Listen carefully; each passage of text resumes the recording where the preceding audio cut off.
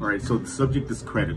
So one question is, what if I co-sign for a buddy, for a relative, whomever it may be, and they become late on their payments? What happens to my credit history and how does that affect it?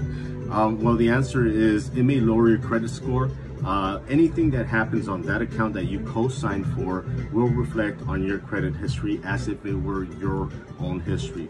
How can you get rid of those negative reportings or those late those lates? By the way, if they're last in the last 12 months, they're very difficult to remove. But the way to counterbalance is adding good revolving history onto your report. What that does it uh, you know, it deviates the attention that the creditors look at those negative accounts and puts it into the positive accounts that are reporting good history. On your reports, we can add trade lines onto your report to increase your credit score. Those accounts can be active for anywhere between three up to six or even 12 months, depending on what your need is.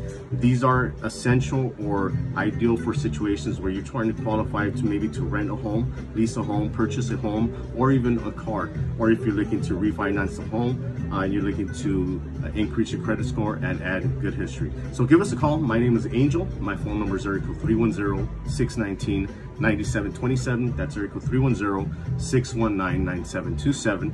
And I'll see you soon.